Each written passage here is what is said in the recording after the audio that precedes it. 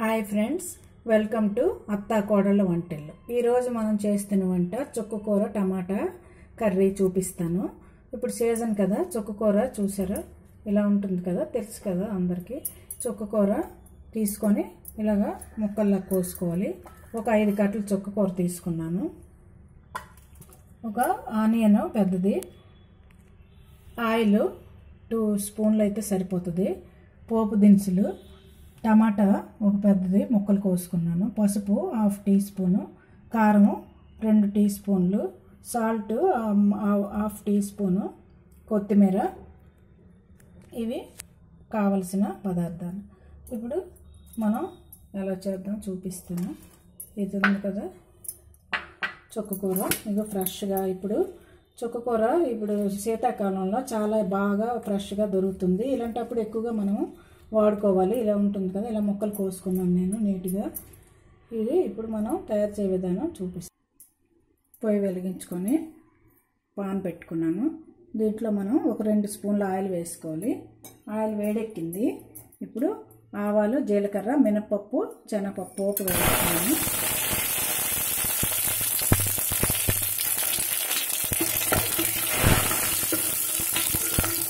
Okay. పోపు వేగుతుంది.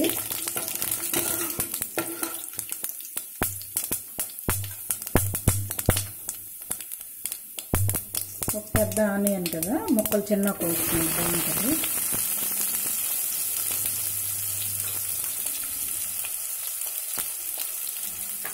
కొంచెం కర్రీకి తగినంత సాల్ట్ వేసుకుందాం. ఒక స్పూన్ అయితే సరిపోతుంది. ఆనియన్స్ వేగుతున్నాయి ఈ చుక్కకూరలో చాలా విటమిన్స్ ఉన్నాయి. చుక్కకూర ఏ దాంట్లో కూడా పొటాషియము ఆకుకూరలో అంత ఉండదు. దీంట్లో పొటాషియం ఉంటుంది.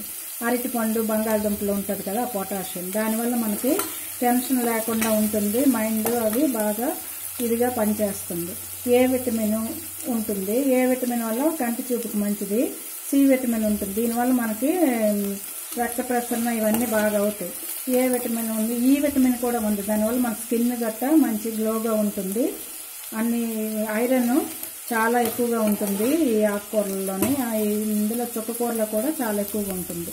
ఇవన్నిటి వల్ల మనకి మంచిది. పిల్లలకి మామూలుగా ఆకుకూరలో పెడితే తింటారు కదా. ఇలా చేసి మనము చపాతీల్లో కానీ ఎందులోనైనా కర్రీలో పెట్టేసి అన్నంలో కూడా బాగా కలిపేసి పెడితే తింటారు. ఇలా మనము టమాటా వేసి చేసుకోవడం వల్ల టేస్ట్ బాగుంటుంది.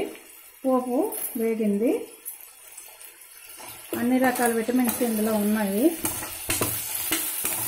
చెప్పుకూర ఈ రెండు మూడు నెలల్లో బాగా మనకు దొరుకుతుంది కాబట్టి ఎక్కువగా ఆహారాల్లో వాడుకోవడం వల్ల మంచిది. ఇప్పుడు ఒక పెద్ద టమాటా ముక్కలు వేసుకుందాం. ఇవి కూడా వేయించుకుందాం టమాటా వేగింది కదా ఇప్పుడు కొంచెం మనం ఒక హాఫ్ స్పూను పసుపు వేసుకుందాం. ఇది చుక్కకూర వేద్దాం. ఇలా కోసుకోండి. ఇది వేగమే మెత్తగా అయిపోతుంది. మనకు పది నిమిషాల్లో కర్రీ తయారైపోద్ది. ఇది ఇలాగా కొంచెం మగ్గిద్దాము. ఇదో చుక్కకూర మగ్గింది కదా? ఇదిగోండి ఇలా మగ్గింది. ఇప్పుడు కారం వేసుకుందాం.